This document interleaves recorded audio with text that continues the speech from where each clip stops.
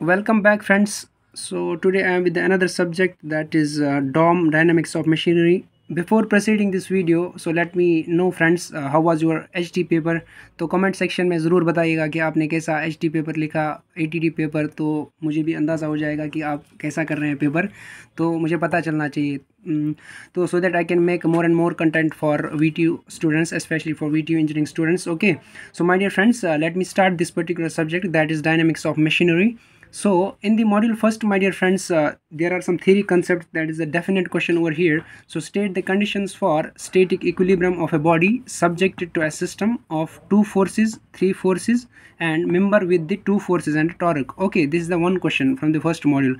Also uh, in, the, in, this part there are some four bar mechanism problems which are lengthier ones. There there is a uh, there are some procedure to follow that so that you can uh, tackle that particular problem. But my dear friends just go for its or part in the or part there are some problems with the engine force analysis which are very easy. Uh, three or four problems are there so that you can prepare these engine force uh, analysis over there. So whatever you uh, what we call you choose uh, the sunstar you choose the uh, textbook over there so that you can get these uh, engine force analysis problems over there. It carries 14 marks.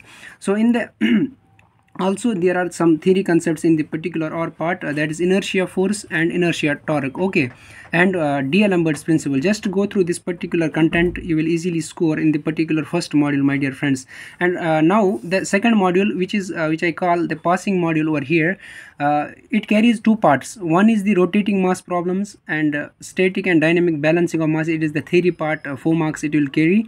And this carries 16 marks. Okay. So I will prefer you just go for its or part as it is very simple and easier one. That is the reciprocating masses. It carries 20 marks. It is a definite question over there. That is the 20 marks. So there are five problems in this particular uh, what we call the content particular part over here.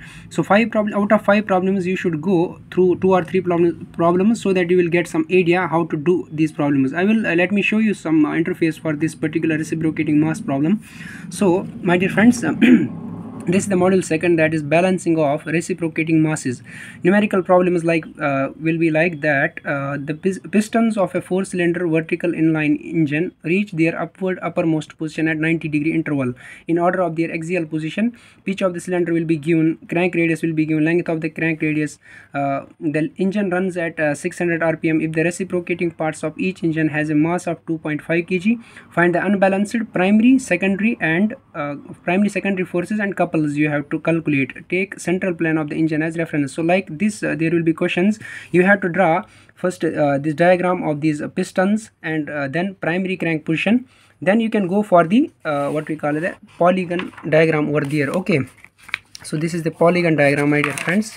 This is easier when you have to go through this concept. And if you only make this table over there you will get uh, at least four marks uh, for making this table over there. Then rest part is the easier one. So this is the uh, force part force polygon primary force polygon then you have to calculate some unbalanced primary forces like that.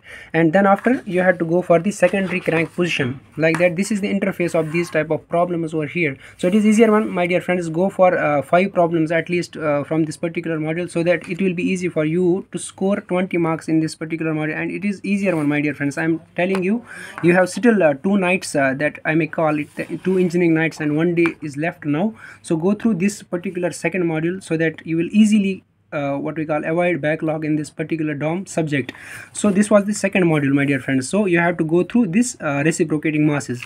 Then then go for module 3 there is the uh, derivation part that is derive expression for speed of a Porter governor with usual notations taking friction into account. So this will be the derivation part in the module third. Go for this uh, derivation. Don't skip it.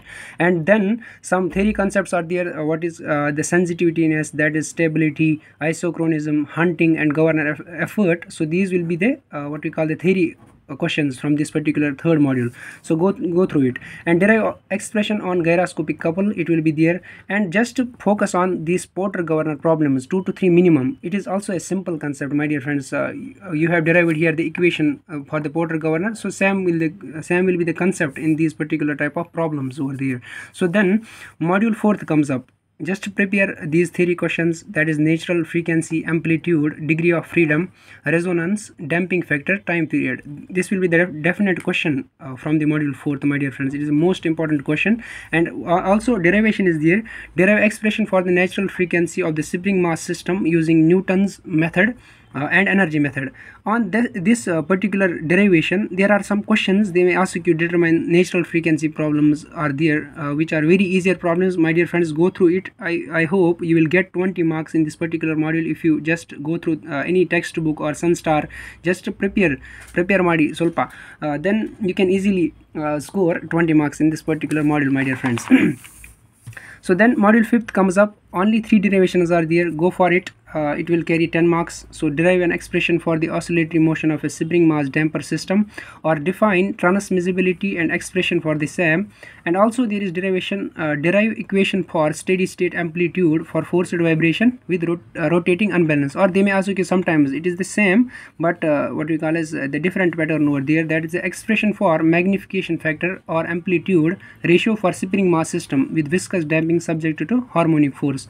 So i have friends uh, i have cleared all the topics over here. If you just prepare in these two engineering nights and one day it will be enough to pass uh, this particular subject. So you have to focus on uh, two uh, second module which I am again telling you that this is the passing module from this particular subject, that is the dynamics of machinery. I hope आपको ये video अच्छा लगा होगा तो अगर आपको ये अच्छा लगा तो अपने फ्रेंड्स के साथ भी शेयर कीजिएगा, क्योंकि ताकि उनको भी थोड़ी आसानी हो जाए ये कंटेंट पढ़ के तो वो आसानी से इस पेपर में बैकलॉग को अवॉइड कर सकते हैं. Thank you for watching this video my dear friends